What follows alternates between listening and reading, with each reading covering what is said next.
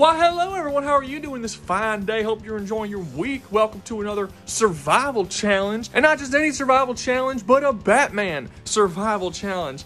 I know. Where else could you possibly go to hear anybody talking about Batman. Now, if you haven't seen my previous Arkham City challenges, I'm not really gonna be going over what the deal with Arkham City is for the challenge. I've already talked about it in previous videos. Go watch one of those if you wanna hear what the actual challenge is. This is under the assumption that you already know everything you need to know about Arkham City. Or you could play like a crazy mind game where you go into this video not knowing shit and then you just try to piece it together and figure it out all Batman like. Like it's like a Batman game inside of a Batman video.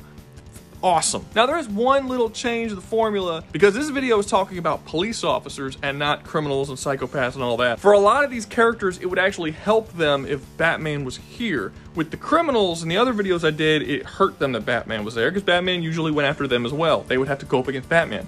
A lot of these people aren't really gonna have to go up against Batman, so there's gonna be a couple of these where I just pull Batman out of the challenge completely. So it would basically be like these characters Arkham City if Batman just straight up wasn't there. So it's gonna kind of be like that Fox show Gotham that was fucking terrible, but somehow still got like five seasons for some reason. Remember that? Remember that? Remember that show?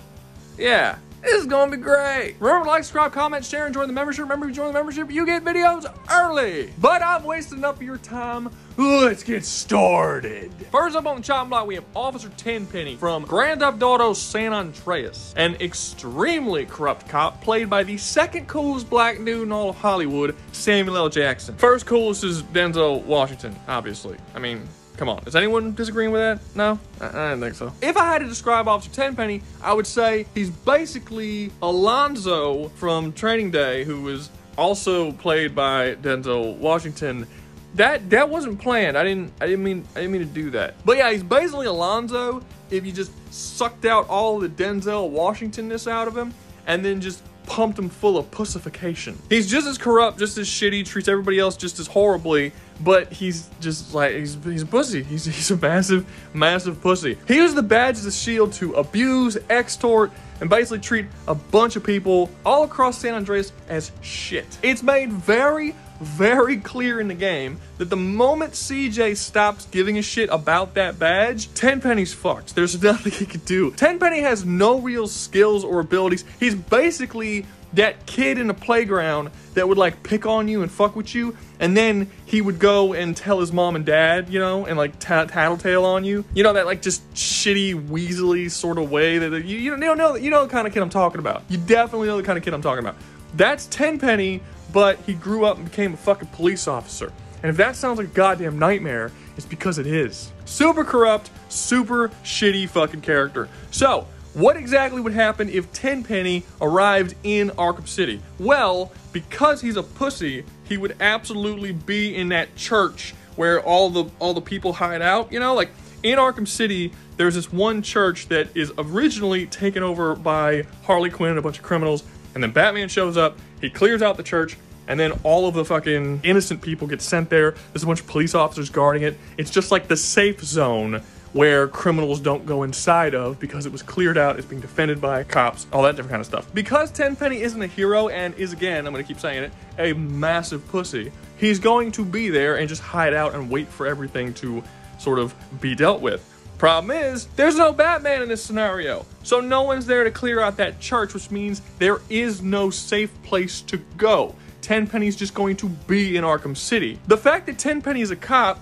means that he's going to get murder raped like crazy in Arkham City. And add on that he is a massively corrupt cop who brutalizes and victimizes both criminals and innocent people alike means that he's gonna be super murder raped. Like if he was sent to Arkham before it became Arkham City and he would abuse and extort and shit on all the people there and just, you know, do his fucking corrupt police officer shit and then Arkham City was created and they all just are free to travel across the city and do whatever they want. It's just chaos. That's what Arkham City is. There would be literally dozens, if not hundreds of criminals running the streets doing whatever they want that are specifically going to be looking for Tenpenny to fucking kill him as brutally as humanly possible. And there would be literally nothing Tenpenny can do. This motherfucker is gonna get crucified. He doesn't have the skills, talents, or intelligence to survive or even hide so that people can't get to him. Considering that in this series, there are considerably more talented police officers that are captured, killed, brutalized, made into hostage, strapped to bombs, tortured, all kinds of fucked up shit. Tenpenny doesn't stand a goddamn chance. Like, oh man, it's gonna be it's gonna be gorgeous. I know that there were people who played Grand Theft Auto San Andreas who absolutely fucking hated this guy and always wanted him to see his comeuppance and just thought, you know what, CJ didn't quite give it to him harsh enough. Well, here I come.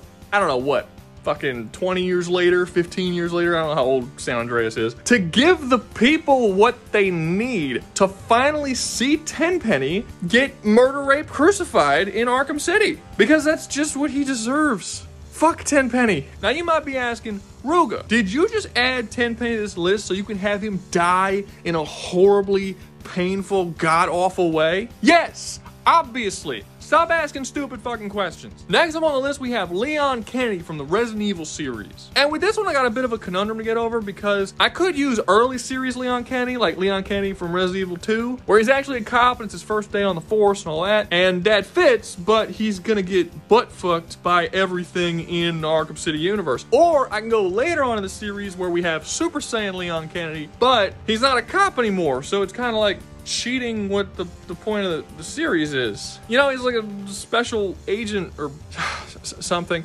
We don't actually know what he is. They call him a special agent, but they don't say who he works for. Like I guess he works for government. And that's that's all Leon is. He's just special agent that works for government. It's like he's not a CIA agent. Like if you're in the CIA, you can be an agent for the CIA, but you'd be, you know, a CIA analyst or something. You have a title. like you join the military and you're like, oh, you know, hey, what do you, what do you do? I'm, I'm a soldier. Yeah, but like, like, what do you do? Like, what kind of, what branch? No, no branch. Just, just, just, just fucking soldier. it's, it's so stupid. I mean, in Resident Evil 4, the president's daughter gets kidnapped, and they send Leon Kennedy by himself as a special agent to go get the president's daughter back in the middle of Spain. If the president's daughter was kidnapped, wouldn't you send all of SEAL Team 6? Like an entire military force. Leon gets there and things immediately go bad. He has to fight through an army of infected monsters. It's not like he even loses connection with the outside world. He's talking to that lady on the radio the whole time. And at no point does that chick be like, oh, okay, yeah, let me phone you some help. Let me call up the president and be like, yo, president, we found your daughter and she's been kidnapped by a bunch of cultists who have an upgraded version of the T virus and are planning on invading the rest of the world with this virus. We got one dude, boots on the ground. He's a special agent and, you know, we want to send him some backup. And the president's just like, oh, a special agent? Nah, he, has got that. It's fine. It's fine. Look, I like the Resident Evil series. I do. But this shit's written in crayon. Okay, well, yes, to be fair, he does join an organization known as the DSO that work for the United States government. But that doesn't happen until Resident Evil 6. And even then, he still doesn't have any particular job title or role. He's still called Special Agent. I don't think that's how it works. What does he do? Just Special Agent shit? What was I talking about? Right, Batman. So, what version of Leon Kennedy am I gonna send here? Both, I guess. Yeah, I could, I could have my cake and eat it too. If we send little Leon over here, it's pretty obvious what's to happen. He's to get basically immediately murdered. He survived in Raccoon City, which is really cool. That's great. That's awesome. But Raccoon City was mostly just a bunch of slow walking zombies. Everybody was trying to melee fight him. He did have to deal with other stuff like Mr. X and shit that were constantly chasing him. But there's still like a bunch of slow walking dudes who you don't want to grab you but as long as you can stay away from and shoot, you can deal with the situation. That version of the character is not going to be able to deal with 40 fucking dudes with automatic weapons all firing at him. He's gonna die. It's gonna be very, very fast. It's literally an entire city's population of, you know, sentience because zombies are, are dumb. They're just kind of slowly walking at you. Guys with fucking baseball bats and axes and, and guns and like, yeah, he's, no, he's done. He's, he won't be able to survive at all. Batman was able to survive for two main reasons, neither of which did Leon actually have. First one being stealth ability, that's a big one, and also verticality. Batman was able to spend the vast majority of his time on rooftops where there weren't a whole lot of people who can get to him, and he was able to escape from people when he got surrounded. He could throw down a smoke bomb and then grapple hook his way out of there. Leon's not gonna be able to do any of this shit. He's just gonna be a dude with a gun on the ground, surrounded by literally thousands of people all armed to the teeth who want to kill him who can shoot him down immediately on sight. I know people are going to make the argument that him surviving Raccoon City means that he should be able to survive here, but no, it is going to be much, much harder for him to survive here because zombies don't have fucking guns. If we take Super Saiyan Leon and throw him out there, he's more knowledgeable, more skilled, more physically powerful. Should I compare him to to Chris Boulder punching Redfield? Like that, that that's clearly an outlier, right? Like Chris in any other game cannot punch boulders into non-existence. Like that's that's the there's no evidence that Leon can do that other than the fact that he's faced Chris in certain games, but he hasn't even faced Chris in the games where Chris was capable of punching boulders. It's just the one game. So I feel like we should treat it as an outlier. And even if he was equivalent to Boulder punching Redfield, characters like Killer Croc, Solomon Grundy, Mr. Freeze, and a lot of other characters just straight up aren't going to care about that level of strength, are going to be able to wipe him out really really fast. But let's give him the benefit of the doubt and say that he is smart enough to survive for a really long time. Stay out of sight from people. Don't take too many extreme risks. Save people when you can. Go through this sort of situation in a more methodical way than just open fucking gunfights in the middle of the street. Would he do much better? Not really, because of the entire plot of what Arkham City is. The plot of Arkham City involves Hugo Strange taking over the League of Assassins after Ra's al Ghul is like dying. He's old and he's dying and shit, and he needs someone else to come and take over. Batman refuses to take over, so Hugo Strange is the next option for some reason, even though he's old as shit. I guess they're to give him the Lazarus Pit, I suppose, but I don't know. He just didn't seem like a, a League of Assassin kind of guy to me, but that's that's the plot of the game. So let's go with it. He needs to prove himself to the League of Assassins, and he does this with Project 10. He takes over Arkham, and then if anybody ever gets out of the prison and chaos reigns, and they all they're all armed with weapons and shit, Project 10 is basically a bunch of helicopters nuking the entire area, essentially. So he puts this whole plan in motion to where all the people are going to get out of Arkham, almost get into the actual city of Gotham City, and then they're going to do Project 10, which he came up with kill them all, and prove himself to Ra's al Ghul that he has the will to kill that many people, and he can become one the the next leader of the League of Assassins, despite the fact he's never in his entire life been trained as an assassin. He has no skills that would make him good as an assassin. He's just like a doctor. Like, seriously, Ra's, you couldn't think of anybody else Nobody. We know that Deathstroke exists in this world. Why didn't you, you, pick him? You got Anarchy in this world. Red Hood at some point existed in this world. Nobody else. Yeah, Hugo Strange. Okay, whatever. The point that I'm eventually getting to is that Leon Kennedy has no way of actually figuring out about this whole plan to begin with. He's not really an investigator type, at least not to the extent that someone like Batman is that would be able to find this whole plan, figure it out, and deal with it. He's got one night to actually figure out what the plan is and stop it. And stopping it involves many, many, many superhuman beings from getting overcome by Leon Kennedy, which he doesn't really have the ability to do. He does fight superhuman beings all the time, but again, they're usually like melee type beings, and he has a gun and he dodges out of the way and shit like that, and he can usually end them with a rocket launcher. But that's not gonna work on a lot of the characters that he's gonna have to fight against who are intelligent, have guns themselves, and powers that are so far beyond anything that even exists in the Resident Evil world, he's just not gonna be able to deal with it. Like, how is he gonna deal with Mr. Freeze? Mr. Freeze is in a massive bulletproof suit with a fucking gun that instantly freezes you to death. Batman was able to beat him by using stealth and manipulating the technology around him to set traps and shit. Leon can't do that.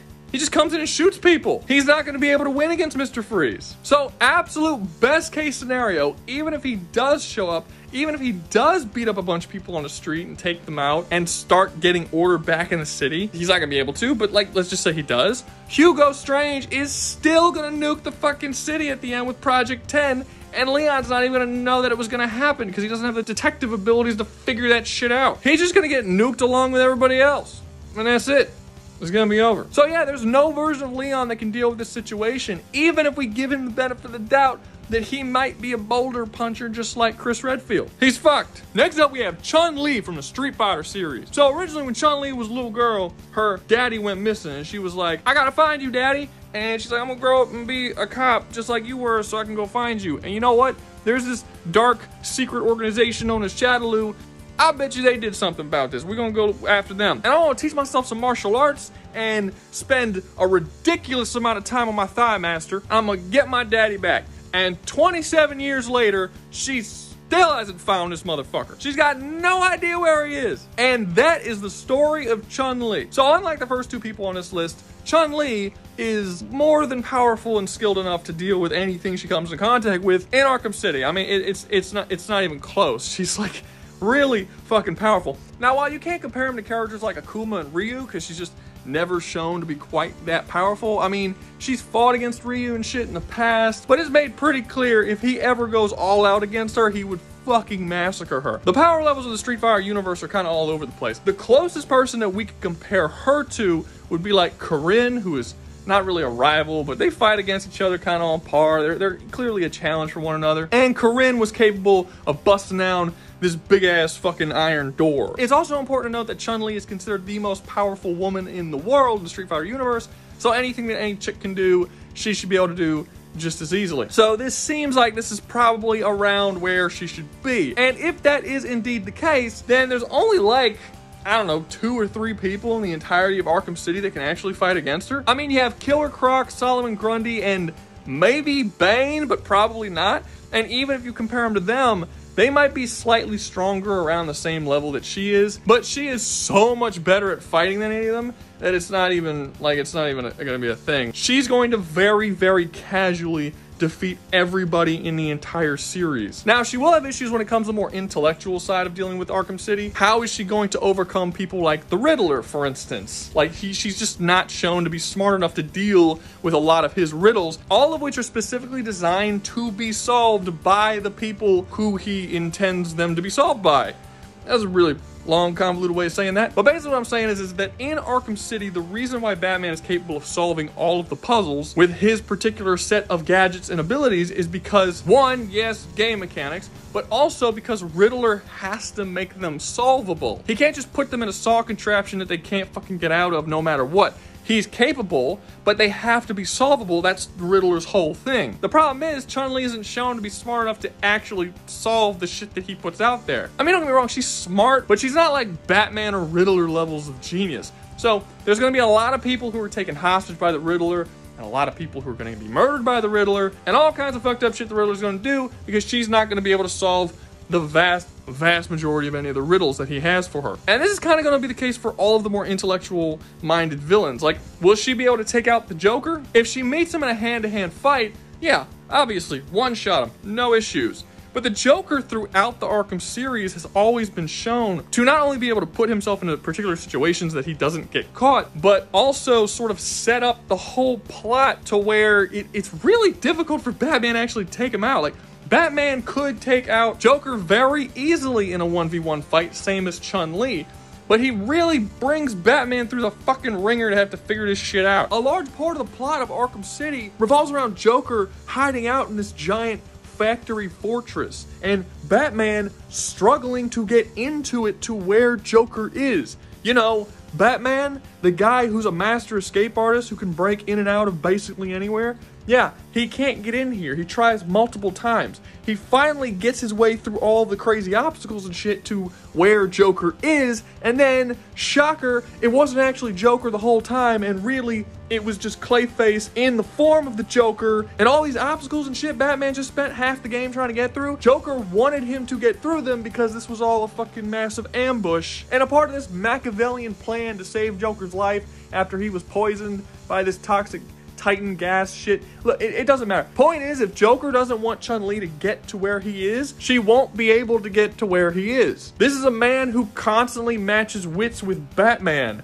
And Chun Li, as smart as she is, she ain't no fucking Batman. If and when Joker decides that Chun Li is going to be a fucking issue, I don't see a whole lot of evidence that she would be able to catch him, and a whole lot of evidence that he would kill her pretty easily, whether it be through bombs or toxic gases or really any way he wants to. Her physical superiority is going to mean basically nothing because Joker has no reason to just meet her on the street and get into a fucking fist fight. And it's things like this that are going to be an issue for Chun Li to deal with.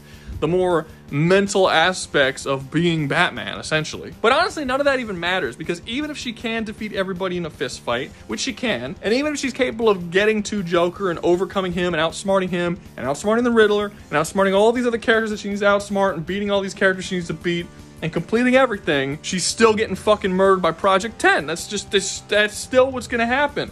Why? Because in order to stop Project 10, she has to find the League of Assassins and figure out what the fuck Project 10 is. And she can't do it. Like, let's give a comparison, right? In Arkham City, Batman has to find the League of Assassins so he can find out what the fuck Project 10 is. So, he has to find them. What happens? He gets poisoned, and he's told that he only has an hour to live or the poison's gonna kill him. So, within that hour, he figures out that the League of Assassins are in Gotham City, finds them, completes all of their challenges, and gets the cure to the poison. Let me remind you, the League of Assassins is an ancient secret organization that has remained a mystery to everyone for thousands and thousands of years. By comparison, Chun Li spent her entire life trying to find Shadaloo, which is a secret organization with like quotations, and she's only capable of finding them after decades with the help of people like Ryu and shit because Shadaloo puts themselves out in the fucking open. They hold a tournament, an international tournament, and invite dozens of people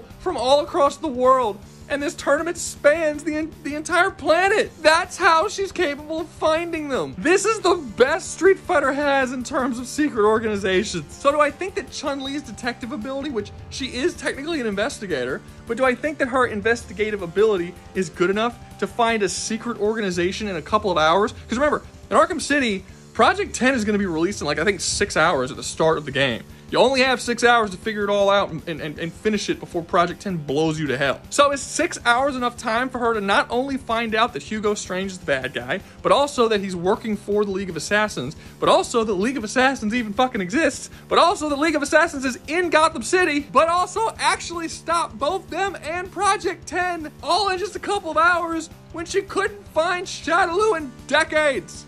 No! She's gonna die! Project 10 is gonna go off. It's gonna blow up basically all of Arkham City, and she's gonna die inside of it, and she probably won't even learn about what the fuck Project 10 is before that happens. So she's third on this list because physically, she should be able to deal with all the issues that she comes across in a way that the first two characters can't. But, sadly, mentally, she's still not quite there, and she isn't capable of surviving what will inevitably happen to Arkham City if she can't stop Hugo Strange, which, again, she can't do. So, sorry to say, but all that time and effort spent on that Thigh Master is just fucking wasted. It's a damn shame, it really is. Last up, but certainly not least, we have Bryan Fury from the Tekken series. Yeah, I know, Tekken and Street Fighter on the same list. That that was that was accidental. I didn't I didn't mean to do that. So much like Leon, I kind of have to figure out what version of Bryan I'm gonna use because there's the cop version of Bryan, where he's just like a corrupt police officer and he's not a fucking cyborg god. And then there's after he's no longer a cop anymore and he gets the cybernetic implants and then he becomes a cyborg god, but he's not a cop anymore. And much like Leon Kennedy, I'm just gonna say, fuck it, do them both. Why not? You know? So there isn't a whole lot that we know about Bryan Fury. We know that he was originally a police officer who was super, super violent and super corrupt. And he basically just became a cop because he's this sort of being of chaos who just loves violence and death and cruelty and subjecting his sadism onto all the people in his vicinity. And becoming a police officer was an easy way for him to do that. Now, at the beginning of the series, he wasn't a cyborg. He was just like a normal dude, but like a normal dude for Tekken standards. I mean, he was still superhuman in every way. He could still punch through a concrete wall and rip people in half, and he was he was a very very powerful, brutal person. But then as the story went on, he almost died, and then he was brought back by being built into this giant cyborg creature thing, but his life is on a timer, so he's gonna die. He's he's basically Roy Batty from Blade Runner. Like that's He's like an evil Roy Batty. If you've never seen Blade Runner Roy Batty, he's an android, but his life is on a timer. He can only live for a couple of years. So he's trying to find the scientist that built him to save his life and the lives of others. And then when he finally finds them, it's like he can't do anything about it, so he kills his creator And it's like there's this sort of thing about desperation and him trying to do this for the people around him. He's a villain, but he's like he's he's he's a sympathetic villain, you know? Same basic story happens to Bryan Fury, except, you know, not an android, he becomes a cyborg. But he has that same issue where he's slowly dying and he wants to find the doctor that created him. Except it's flipped because the doctor that created him is actually a pretty good dude and Bryan Fury is a fucking asshole. And Bryan Fury kind of kills the doctor, but like not because of because uh, he just likes killing people. It's it's it's a whole thing. Basically, Bryan can't come into contact with any human being without murdering the shit out of them. Anyway, currently in the series, he solved that problem. One thing that both the cop and cyborg version of Bryan have in common, that they're both going to absolutely adore Arkham City. Like I said, they're beings of chaos, they love chaos. Bryan being a cop originally isn't even really gonna matter all that much because once the chaos and shit starts, he's not gonna have any desire to remain a police officer. The chaos around him is he's gonna have exactly what he wanted. He's gonna just like throw off the fucking uniform, be like, no, bro, this is this is great. I'm just gonna go around and start slaughtering people and driving cars through fucking the fronts of buildings and shit and just do whatever I want to do. And much like Chun Li, there really isn't going to be all that many people who are capable of defeating him in a fist fight. Now, I will say early game Tekken Bryan is nowhere near as powerful as Chun-Li. The series just starts off at sort of a weaker point than Street Fighter does. So unlike her, where if she comes into contact with somebody like Killer Croc, Solomon Grundy, Bane, she's gonna be able to fight against them. I don't necessarily think that Bryan Fury can. I think physically he's gonna get beaten by those characters. Again, when we're talking about early game Bryan. But that's not really gonna be a factor because unlike Chun-Li, Bryan's not a hero and he's not gonna care to actually go after any of these people. He's not going to care about anything that Joker's doing or Penguin's doing. He loves the chaos and he's going to want it to keep going. In fact, he might even build his own little faction of people who follow him that just love chaos. He's not going to care if the Joker and Penguin are at war trying to take over Arkham City. They can fucking have it as long as he can just kill people as, as much as he wants. Joker and him might be best of buds. Now, normally I say two chaotic forces like these don't really get along because like when I made a previous version of this video, I talked about Trevor from GTA and I said Trevor and him wouldn't get along because their plans would essentially run into one another. But that's not going to happen with Bryan because Bryan doesn't have any fucking plans. Bryan just wants the chaos. And if Joker's gonna keep making that chaos, Bryan's not gonna care if he's in charge. It's fine. It's okay. Just don't stop me from doing what I'm doing that's fun, but I don't care about your shit at all. If Bryan does get to the point that he ever has like the whim to just go after Joker for some reason, maybe he just wakes up and feels that way one day, then maybe that'll start a problem. But he's got no reason to actually go after him. He's got no reason to really do anything, which is why younger version of Bryan, Cop Bryan, He's gonna fucking die because he's gonna get hit by Project 10. He's, he's not even going to attempt to stop it, like at all. He's gonna do literally nothing. He's just gonna be this superpowered martial arts master murder addict who's running around the whole fucking city just randomly beating the shit out of people for the entire six or seven hours that he has until Project 10 goes off. And when it does, he'll die because at that point in the series, he's not strong enough to survive Project 10. That's it. It's very simple. So that version of Bryan would probably be about even with Chun-Li because they would both basically get just as far. However, if we go over to the cyborg version of Bryan Fury, that's a totally different story. This motherfucker is basically unkillable. Just to name a couple of feats that Bryan Fury has done as a cyborg, he chucked a beam through a jet that was flying through the air. I mean, just the accuracy of that is unbelievable, but I mean, he took out a jet with a steel beam by chucking it. He's chucked a tank multiple blocks away from where he is. At one point, a helicopter flew into him and exploded, and he just walked out of the explosion like it was no big deal. When World War III happened in Tekken, because yes, there World War III happened in Tekken, Bryan just went into the middle of the battlefield wearing no shirt and just fought against both sides for like the entire engagement just because he thought it was fun. Bryan is basically that young boy urge to just destroy everything around you, right? Like just throw shit and break glass and spray paint shit. He's all of that, but just made into a person and then given like, you know, martial arts superpowers. So then the question becomes, how will Cyborg Bryan do in Arkham City? Really, really, really well. Actually, he will stop Hugo Strange's plan. Yeah, I know, really weird. He'll be the first person that I've put in these lists that will actually solve the problem. He'll create a much bigger problem, but he'll solve the problem.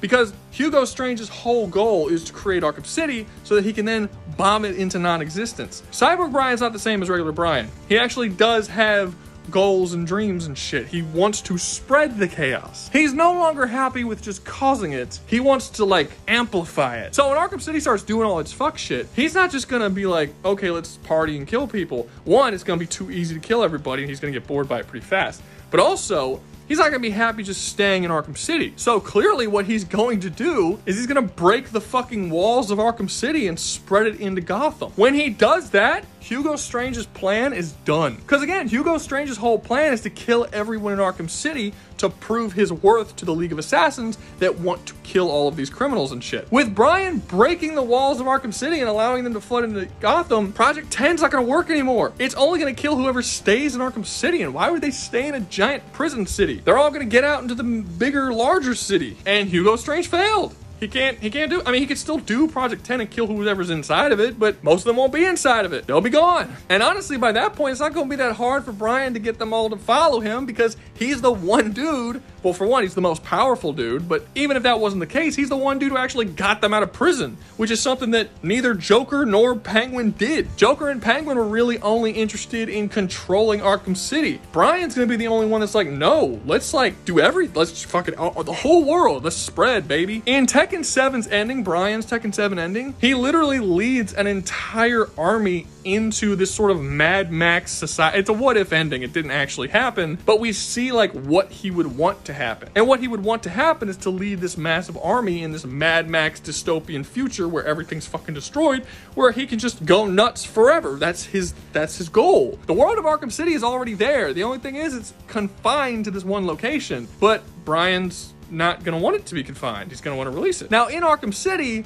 those walls were big enough and sturdy enough that nobody could escape no matter what.